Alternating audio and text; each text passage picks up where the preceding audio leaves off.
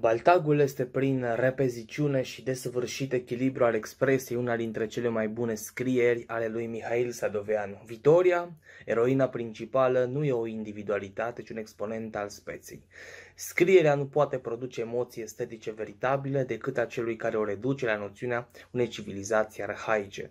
Acum suntem în Dacia, în teritoriul muntenesc al oerilor, ca punct de plecare. Intriga romanului antropologică.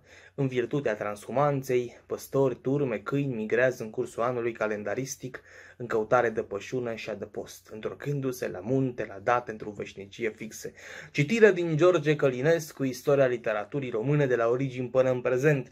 Salutare, dragi prieteni, și în cadrul acestui videoclip discutăm despre romanul Baltagul. În primul rând vom încerca să respectăm structura eseului, să începem cu câteva detalii importante despre autor și de asemenea să-l încadrăm într-o perioadă istorică. Mihail Sadoveanu este un spirit care încearcă să conserve matricea autohtonă. Temele sale principale se concentrează asupra ființei aflate în spațiul mioritic, iar în acest sens observăm o natură tradiționalistă prin excelență. Din punct de vedere istoric, îl încadrăm în perioada interbelică, deoarece romanul Baltagul apare în anul 1930, după cum spunea și mai marele Călinescu, când se nasc genile, mor școlile, iar un curent literar are o viață relativă, el presupune îmbrățișarea unor caracteristici, dar știm că un scriitor adevărat îmbrățișează mai multe curente literare. De multe ori observăm într-o operă un melanj de curente literare, dar încercăm să observăm uh, trăsăturile dominante și în felul acesta facem o încadrare într-un curent literar.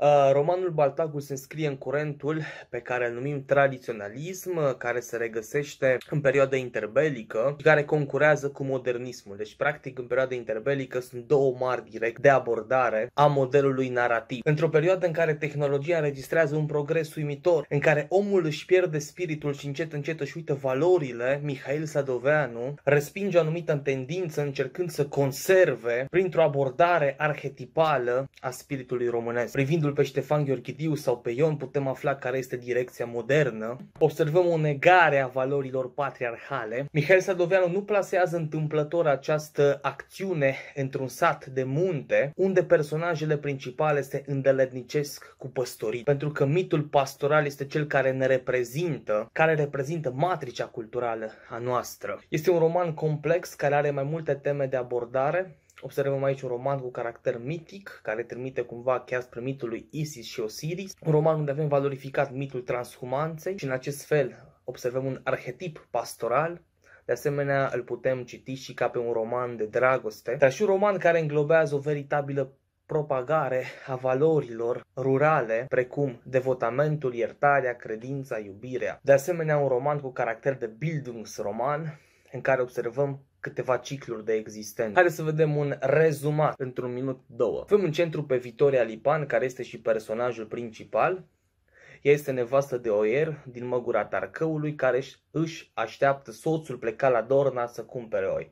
Este o seară de toamnă, ea toarce undeva pe prispa casei și își amintește de Nechi. Și îl imaginează ca pe un om plin de viață, gospodar, oier, priceput, vesel, sociabil, iubitor de nunți, de petreceri, unde mereu spunea câte o poveste și relata un mit mai degrabă antropologic despre înzestrarea munteanului cu o inimă ușoară, menită să-l facă să reziste unei vieți pline de necaz. Faptul că au trecut foarte multe zile. El parcurgea în fiecare an în acest drum și de fiecare dată în perioada aceasta se întorcea acasă. Îi generează nelini care o face să caute sfaturi la părintele Danilă, ba chiar și la vrăjitoarea Baba Maranda. Pătrundem într-o lume plină de presimțiri, plină de vise, plină de simboluri și toate aceste premoniții și intuiții o fac pe Vitoria să creadă că s-a întâmplat ceva cu soțul ei. La un moment dat are un vis, îl vede pe Nechifor trecând o revărsare de ape se gândește că la e Stixul. Mă rog, nu prea se gândește că e Stixul, dar se gândește că nu este de bine, este în speță marea trecere de care vorbește și veritabilul filozof și poet Lucian Blaga. Fiind îngrijorată, hotărăște să plece în căutarea lui, trimite o scrisoare fiului Gheorghiță care se afla în câmpia Jiei, coile, îl înștiințează de cele întâmplate și apoi când se întoarce îi comunică hotărârea de a pleca împreună în căutarea lui. Chiar dacă presimțea cumva că este mort, călătoria încorporează mai mult. Unul este acela de călire a fiului Gheorghiță, care parcurgând acest drum plin de încercări, se va maturiza și va prelua rolul de pater familia. Un alt scop este acela de a găsi oasele lui Nechifor pentru a putea să-i oficializeze o slujbă creștină. Suntem într-un spațiu plin de semnificații între suntem într-un spațiu plin de semnificații ancestrale pentru că asta înseamnă tradiționalismul. O lume plină de simboluri în care omul crede în Dumnezeu. Omul decodează viața prin intermediul naturii. Pe Milodora, fica sa o lasă la mănăstire și cunoscând foarte bine drumul turmelor, Vitoria alege drumul pe care presupune că soțul l-ar fi urmat. Ea înfruntă viscolul iernii, poposește în localitățile întâlnite în cale, stă de vorbă cu oameni și află că într-adevăr Nechifor a fost pe acolo. Nu ezită niciodată să întrebe nu ați văzut cumva un cioban cu căciulă brumarie și calțintat? Devine cumva motivul romanului. Deși este foarte îngrijorată, știe cumva să-și ascundă neliniștea și în drumul său la Borca întâlnește un botez și la Cruci întâlnește o nuntă. Observăm cele două ritualuri de trecere, așa cum le definește Mircea Eliade, urmând firul cronologic, se deduce că urmează al treilea ciclu cosmic de trecere, moartea. Parcurgând în localitatea Sabasa, Vitoria deduce că el nu a mai ajuns acolo și la cârciumă cumva au, popo- au poposit doi uh, ciobani.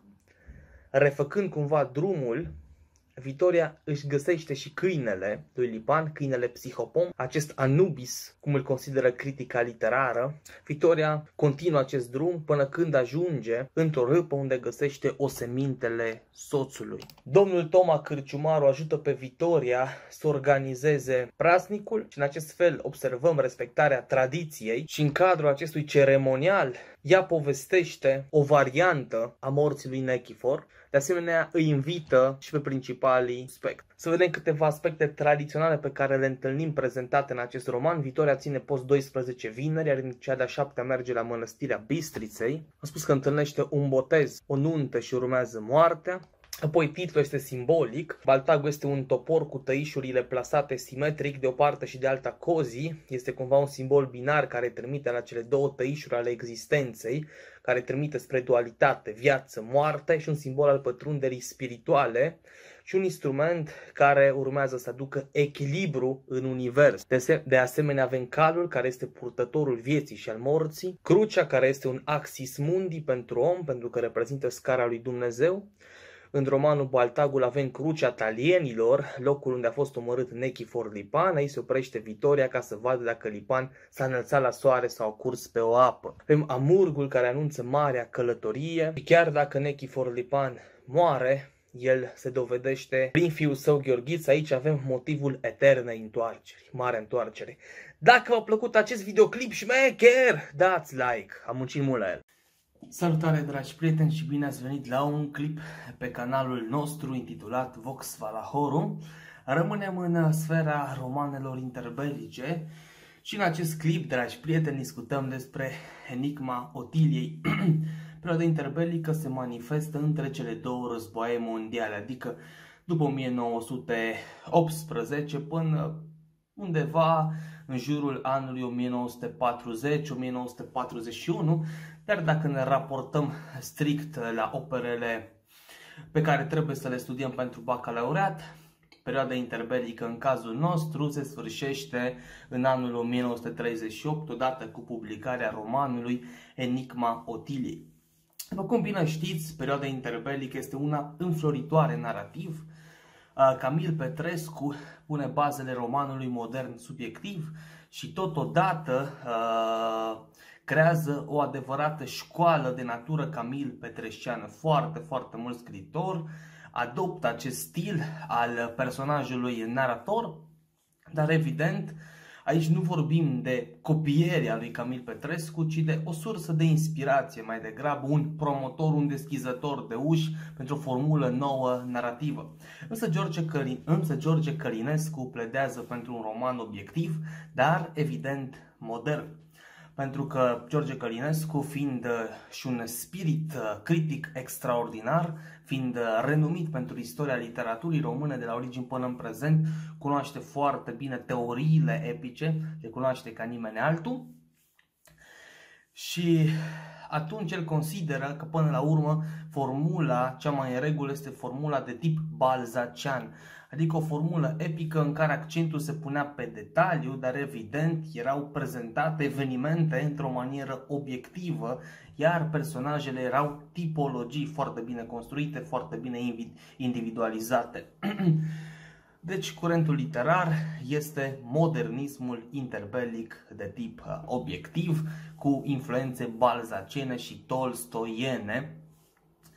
De asemenea, un curent literar nu poate exista în stare pură. Întâlnim și elemente romantice, și elemente clasice, elemente baroce, dar le vom discuta puțin uh, mai târziu. Dacă ar fi să ne raportăm strict la titlu, Enigma Otiliei, da? În centru se află o femeie misterioasă, enigmatică, dar odată citind romanul observăm că avem un personaj central pe nume Felix Sima, care se inițiază în iubire, el trăiește primii fiori a iubirii prin intermediul Otiliei și dorește cumva să-i afle enigma, să-i foreze în interiorul ei. Otilia este printre cele mai complexe personaje din întreaga istorie a literaturii române.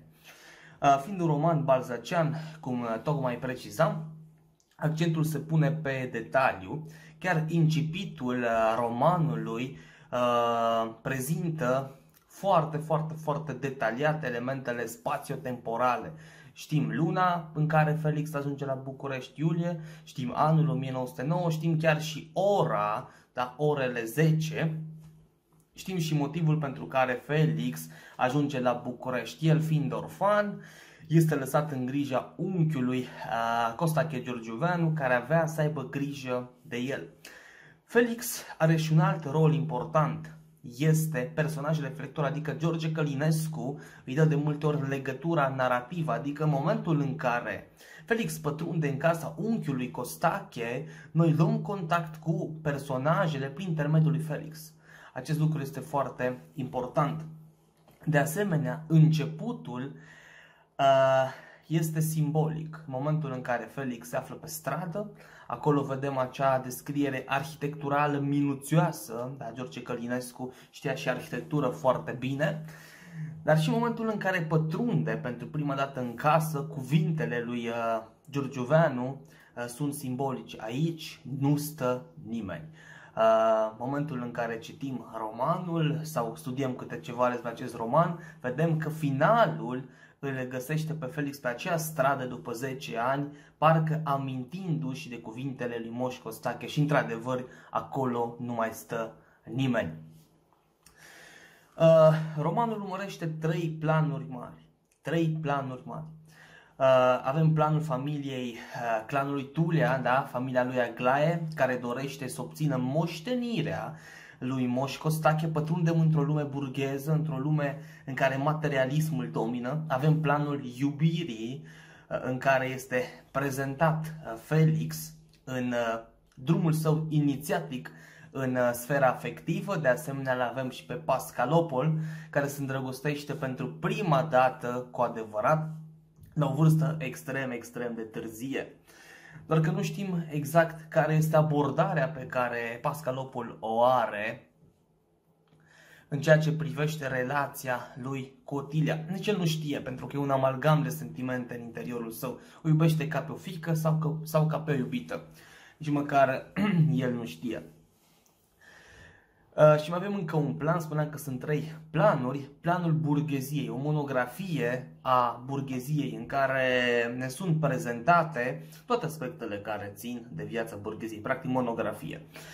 Uh, trei teme. Avem trei teme în acest roman. Avem paternitatea, da? Și vedem că și Otilia și Felix au destine similare, amândoi sunt orfani și amândoi sunt îngrijiți sau sunt sub grija uh, unchiului Costache, avem moștenirea, da? iar o temă centrală, balzaceană, moștenirea și iubirea. Și aici avem și factura, cumva, romantică. Uh, și romantismul domină și prin antitezele. Avem pe Felix, uh, care este intelectualul, și cumva la calapodul opus se află Titi, care este, mă rog, tipologia retardatului. De asemenea, nu mai avem antiteze. Avem pe Pascalopol, da, care este în antiteză cu Simion Rațiu, cu Stănică Rațiu, mă scuzați, așa, Simeon Rațiu, Stănică Rațiu. De asemenea, mai avem încă o antiteză. Avem pe Olimpia, nu, pusă în antiteză cu Otilia. Aici este cadrul romantic. De asemenea, avem elemente clasiciste, da, prin construirea riguroasă a personajelor. Și acum să vorbim puțin și despre personajele principale. Da? Felix este încadrat în tipologia intelectualilor, el dorește să vină la București cu scopul de a studia medicina, ajuns în București, se inițiază și din punct de vedere afectiv se îndrăgostește de Otilia, vede în ea un spirit protector, vede o fată extrem, extrem, extrem de complexă și încearcă cumva să pătrundă în sufletul ei. Otilia este printre cele mai complexe personaje din istoria literaturii române. Uh, române. Este jucăușă și nebunatică cu Pascalopol, este protectoare, iubitoare cu Felix, este grijulie cu unchiul, dar este distantă cu clanul, cu clanul Tule, adică știe cum să, se, cum să abordeze, știe cum să-și modifice percepția, știe când să fie serioasă, știe când să fie juvenilă, când să fie jucăușă, de asemenea are afinități culturale. Adică aceste, această trăsătură nu este des întâlnită în literatura românească, nu dacă ne gândim la Victoria sau chiar la Ela, uh, care este un personaj modern. Ela nu avea foarte multe afinități culturale, adică încearcă Gheorghe Diu să o inițieze în tainele filozofiei, doar că Ela este cam somnoroasă în momentele în care Gheorghe Diu vorbește despre Platon, despre Kant, despre transcendent, uh, despre diferența dintre numen și fenomen. Otilia cântă la pian, Otilia citește, uh, deci se cultivă. Este un personaj extrem, extrem, extrem de complex, după cum spuneam. Și uh, tot uh, menționez asta pentru că este important să scrie despre complexitatea Otiliei, despre amalgamul de complexități care se află în structura ei uh, interioară. De asemenea, dacă ne referim compozițional, avem 20 de capitole care nu sunt numerotate, uh, Incipitul este similar cu finalul, avem uh, structură sferică, uh, putem vorbi ca la Ion, că practic intrăm și ieșim, avem același drum. Intrăm în lumea ficțională, odată cu Felix și apoi Felix ajunge din nou pe acea stradă și părăsim lumea ficțională, o lume ficțională uh, descrisă în decursul a 10 ani. Avem 10 ani din uh, viața personajelor, 10 ani. Finalul rezolvă cumva anumite conflicte. Felix reușește să-și atingă scopul, uh, reușește să devină profesor, să scrie foarte multe uh, tratate de medicină. De asemenea, Otilia se căsătorește cu un uh, om din înalta societate, ea se căsătorește și cu Pascalopol, doar că Pascalopol dă dovadă de mărinimie și îi dă fără nicio problemă divorțul Otilei pentru a-i conferi libertatea. Pascalopol era o ființă extrem, extrem, extrem de deschisă din punct de vedere spiritual. El îl ajută de fiecare dată pe Felix. Felix se căsătorește din interes, adică suntem și mai mult din interes, adică suntem într-o lume, da, unde căsătoriile sunt bune sau rele, adică am, m-am căsătorit bine. Uh, de asemenea, îl vedem pe Stănică Rațiu, uh, care se căsătorește cu Olimpia, tot dintr-un oarecare interes. Aici vedem uh, caracterul de părinți mizerabili, ei n-au grijă deloc de copilul său, care moare din neglijență. Iar apoi, având bani, Stănică se căsătorește cu Georgeta. Dar de ce? Pentru că Georgeta era o persoană extrem de influentă, da, ea avea relații acolo, cunoștea generali, cunoștea oameni din lumea politică, iar acest lucru îi permite lui uh, Stănică Rațiu să pătrundă într-o lume extrem uh, de bogată, de luxoasă. Uh, acum am cam încercat să precizez în linii mari despre ce este vorba în acest roman. Vă recomand să-l și citiți, deoarece veți călători într-o lume interbelică, într-o lume bine conturată de George Călinescu, într-o lume Uh, minuțioasă uh, într-o lume fragilă și, și vă recomand acest roman. Aveți grijă de voi și dați mare, mare like dacă v-a plăcut acest videoclip, mare like. Nu-ți voi lăsa drebunuri după moarte decât un nume adunat pe o carte. Așa începe poezia Testament redactată de Arghezi apărută în volumul Cuvinte potrivite în anul 1927. Această poezie este o artă poetică deoarece prezintă concepțiile lui Arghezi despre poezie. Așadar să luăm poezia, să o citim și apoi să o analizăm. Poezia începe așa. Nu-ți voi lăsa drebunuri după moarte. Începe cu o confesiune adresată. Adică nu-ți voi lăsa drebunuri după moarte decât un nume adunat pe o carte. Vedem aici testamentul unui poet. Da? Știm că testamentul este acel act juridic prin care cineva își expune dorințele pe care le are după moartea sa. Adică dacă eu am foarte mulți bani, în acel testament las toată averea mea soției mele de 18 ani, eu având 80 și foarte mulți bani, este evident. În seara răzvrătită care vine de la străbunii mei până la tine. Prin râp și grope adânci, suite de bătrânii mei pe brânci și care tânăr să le urci te așteaptă, cartea mea fiule, o treaptă. Până aici vedem că Euliric își scrie testamentul. Și testamentul lui ce conține? Cartea, creația, care nu a fost generată cu ușurință. Creația lui nu este una ușoară, nu a creat cu ușurință, ci el a preluat de la străbuni. A fost greu, a fost un drum pe care a trebuit să-l parcurgă, un drum plin de gropi, suită de bătrânii mei pe brânci. Poetul nu este nimic altceva decât un mediator, o legătură între trecut, prezent și chiar viitor. Și care tânăr să le urci te așteaptă, cartea mai fiule o treaptă. Vedem acest vocativ, fiule, care prezintă legătura dintre poet și urmași urmașii poetului sunt fiii lui. Și vedem puterea pe care o are cartea. Cartea unește. Cartea creează legături spirituale. Așează cu credință căpătâi. Vedem acest monolog adresat din partea unui poet. Un monolog adresat din partea unui poet fiului său spiritual. Adică viitorului poet sau chiar cititor. Ea e Hristovul vostru cel din tâi, al robilor cu saricile pline de oseminte vărsate în mine. Adică cartea sa este foarte importantă. Cei din trecut au fost niște robi, adică aceasta este condiția poetului. Poetul este un rob care se supune creației, dar scopul este nobil, acela de a-i urca spiritual pe urmași. Și acum vine secvența a doua. Ca să schimbăm acum întâia oară sapa în condei și brazda în călimară.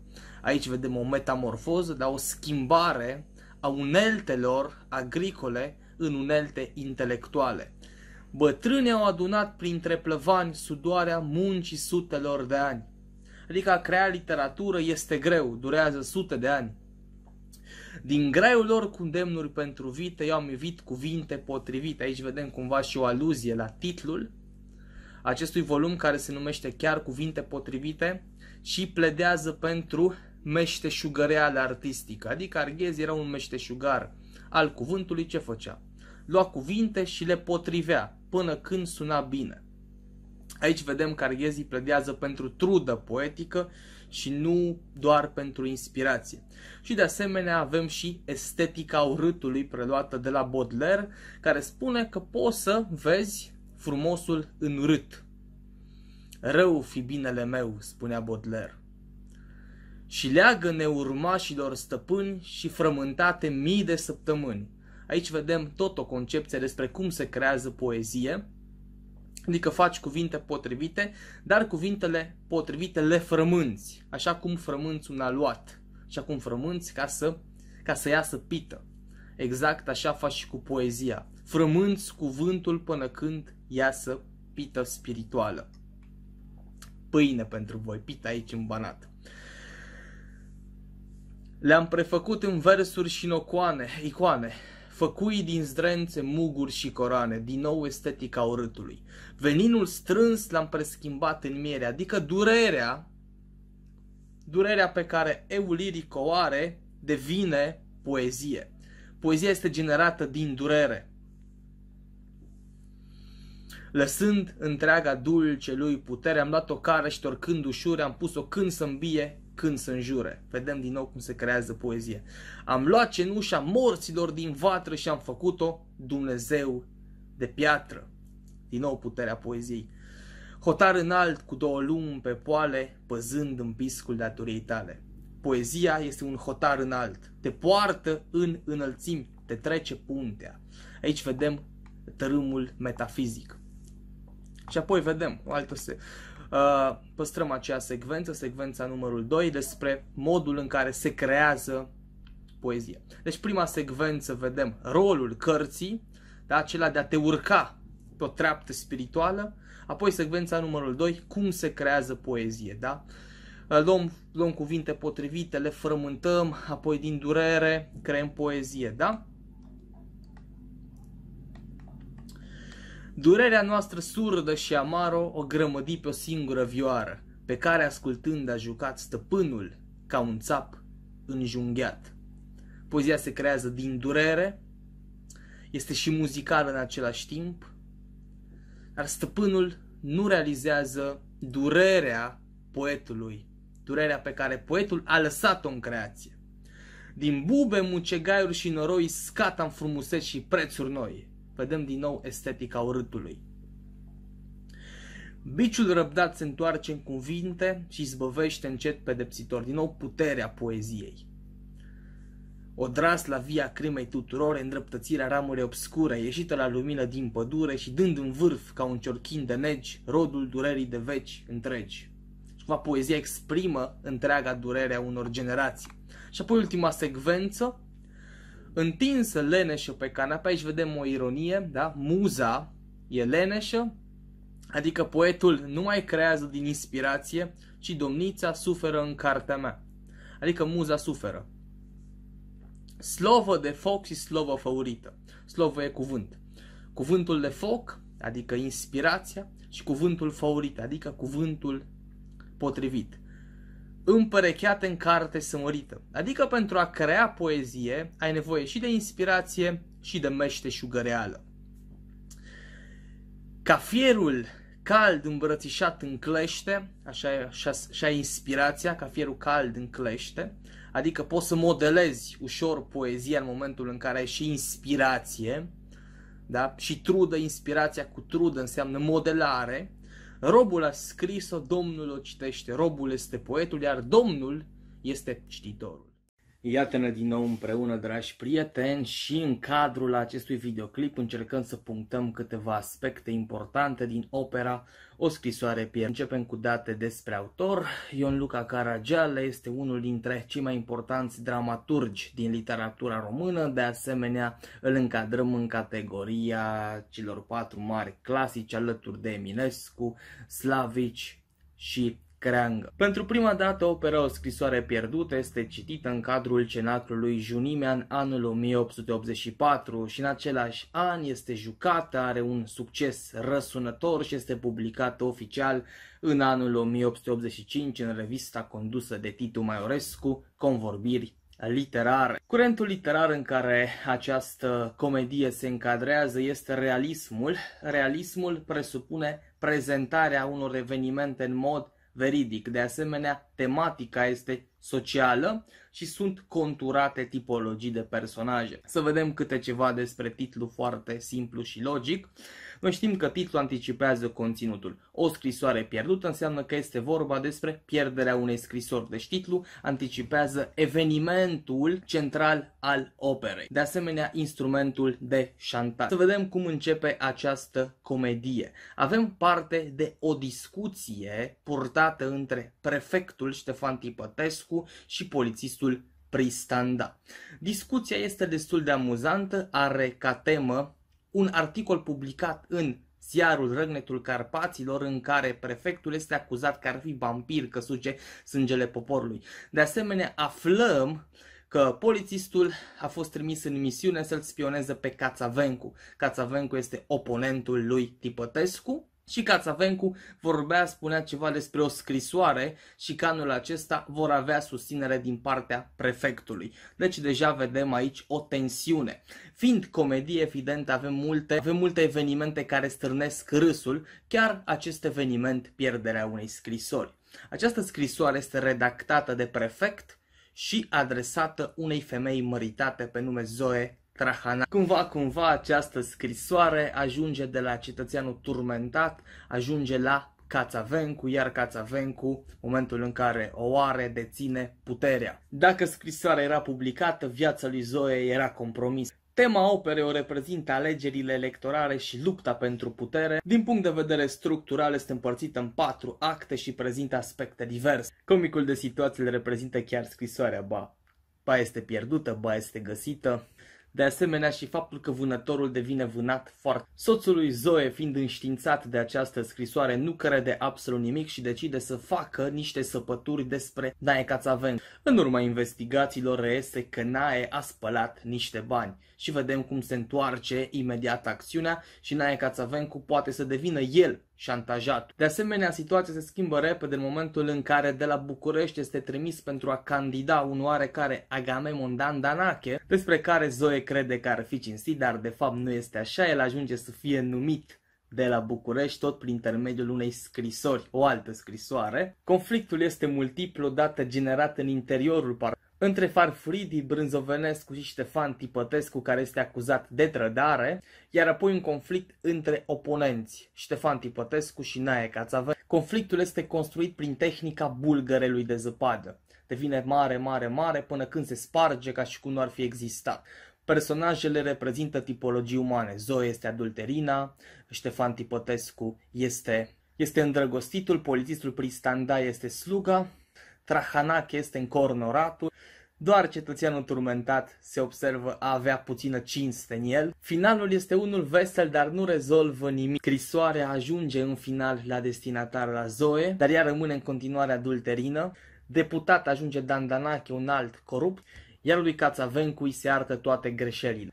Privind pe ansamblu opera, observăm jocurile de culise din lumea politicii și faptul că fiecare luptă pentru sine, necontând prea mult alegătorii. Vom încerca să precizez câteva aspecte importante. Dacă v-a plăcut acest videoclip, dați like, share, subscribe la acest canal. Ne auzim. Salutare dragi prieteni și bine să la un nou videoclip pe canalul Vox Valahorum și astăzi vorbim despre Ion, uh, roman scris de Liviu Rebreanu. Înainte de a vorbi despre această operă, e bine să vă ofer câteva informații despre scritorul Liviu Rebreanu este considerat creatorul romanului românesc modern, da? practic părintele romanului românesc modern și Ion este privit ca cea mai puternică creație obiectivă a literaturii române. Liviu Rebreanu pune punct literaturii sămănătoriste, nu? care era dominat de idilism, de compasiune și deschide un nou drum pentru scritori un drum al integrării în viziunea europeană dominantă. Până la urmă, Liviu Rebreanu îmbrățișează teoriile lui Eugen Lovinescu, nu cel care creează cel, cea revistă Spurătorul cu SB și cenaclul Spurătorul SB și vorbește despre spiritul veacului, despre faptul că literatura românească trebuie să se sincronizeze cu literatura europeană. Zice Lovinescu, trebuie să existe un spirit al veacului, al veacului nu seculum, și noi, voi scritorii, trebuie să vă racordați la ceea ce se scrie pe plan european. Gata cu căruțele, gata cu țăranii. Ion este publicat în 1920. Liviu Rebreanu investește foarte, foarte mult timp în elaborarea acestui roman, aproximativ 11 ani.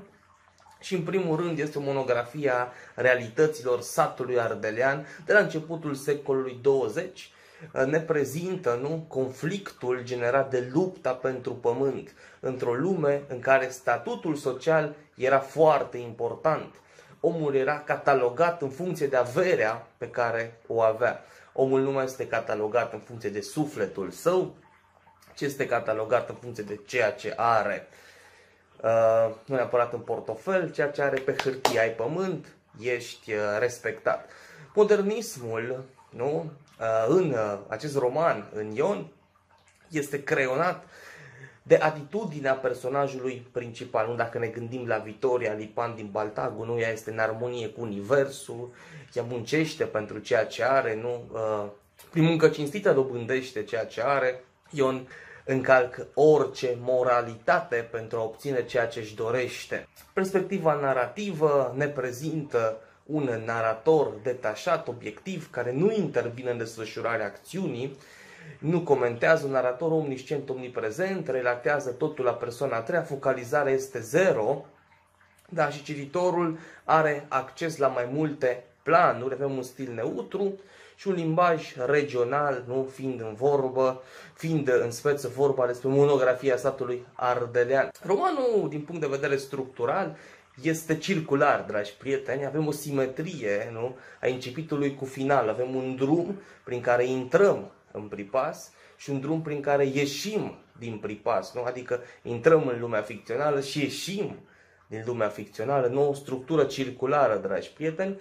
Uh, de asemenea, romanul e organizat în două părți. Glasul pământului, avem această personificare și glasul iubirii, nu? Uh, critica literară afirmă că este vorba despre patimile patimile lui Ion, conflictul practic, nu pământul și iubirea și vocile din hăul inconștientului. Avem de asemenea două lumi, lumea țărănimii și lumea intelectualității. Uh, în critica literară veți întâlni aceste planuri narrative numite tehnica planurilor paralele, adică trecem de la un plan narrativ la altul și asta se face prin alternanță, avem înlănțuire ca tehnică narrativă. Lumea Serenimii este prezentată, reprezentată de Ion, de Ana, Florica, Vasile Baciu și lumea intelectualității este reprezentată de profesorul Herdelea și de preotul Belciug. De asemenea, mai observăm și tehnica contrapunctului, uh, dragi prieteni, ce înseamnă contrapunct, aceleași teme în planuri diferite. Primul plan avem viața tânărului țăran, nu? Ion al Glanetașului, iar în al doilea plan îl avem pe fiul învățătorului Zaharia, petitul Herdelia. De asemenea, în plan secundar mai avem și lupta lui Vasile Baciu pentru a-și apăra pământul și nu-i reușește, lupta lui Avram pentru salvarea averii implicate într-o afacere, nu Ion Belciug, care luptă pentru a zidi acea biserică românească în satul Pripas, și lupta fetelor și a familiilor nu, pentru un mariaj cât mai bun. Pentru că până la urmă căsătoriile erau aranjate, nu? erau denotate pe criterii sociale în acea perioadă, tema este reprezentată de lupta unui țăran pentru a obține pământul. De asemenea, mai observăm tema iubirii, tema familiei, nu? E un dezvălui o temă care le-a preocupat pe Liviu Rebreanu de-a lungul întregii sale creații. Cam în toate operele sale întâlnim uh, viața satului și locul omului în univers. Titlul este simbolic. Dacă întoarcem, nu? Ion înseamnă noi, nu? Ion este personajul eponim al romanului, adică dă numele romanului. Din punct de vedere spațiu-temporal, dragi prieteni, avem Armadia, Peipasul, nu? Care dau veridicitate prezentării și îl familiarizează pe cititor cu aceste aspecte geografice care chiar există. Incipitul, după cum spuneam, da, este personificat, avem un drum care reprezintă o metaforă a trecerii dintre spațiul real în spațiul imaginar și prima prima acțiune înfăptuită de către țărani, de către țărani, da, este aceea horei, da, care reprezintă un dans în cerc, un echilibru, doar că naratorul ne oferă câteva funcții, naratorul ne oferă câteva informații anticipative. Într-o zi de duminică, în timpul horei, au loc tot felul de conflicte, ceea ce nu este bine. De asemenea, acea horă ne prezintă și straturile sociale ale personajelor, nu? Avem dansatorii, fetele care nu au fost poftite la horă privesc, iar mamele vorbesc despre gospodari. De asemenea, avem uh, prezentarea, nu intelectuali, sunt prezentați intelectualii satului, preotul Belciug este și el pe acolo, iar Ion dansează cu Ana, deși o place pe Florica, cea săracă și frumoasă. Conflictul, dragi prieteni, este și de natură exterioară și de natură interioară. Nu avem un uh, conflict exterior între Ion și Vasile Baciu, între Ion și George Bulbuc. Și avem și un conflict între planul intelectualității între Herderea și Belciuc și un conflict național. Și un conflict național, deoarece, nu, satul era austro-ungar și avem o luptă națională. De asemenea, conflictul exterior este reprezentat de dorința lui Ion de a obține pământ, nu? O luptă, el este sfâșiat de patima pământului și patima iubirii. Uh, Deznodământul e, prezintă un final închis, nu? Ion vrea să recupereze iubirea pierdută după ce Ana se sinucide. Între timp, uh, Florica îi devine soția lui George Bulbuc, doar că Ion este surprins noaptea în curtea lui George Bulbuc și este omorât. George este un instrument în mâna destinului, iar averea lui Ion rămâne bisericii. Finalul este ciclic, nu avem un satul, satul este adunat la sărbătoarea Sfințirii Noi Biserici, avem acolo din nou un dans, din nou o horă și prin acest roman Liviu Rebreanu a dat literaturii române primul roman modern, un roman scris ca în Europa.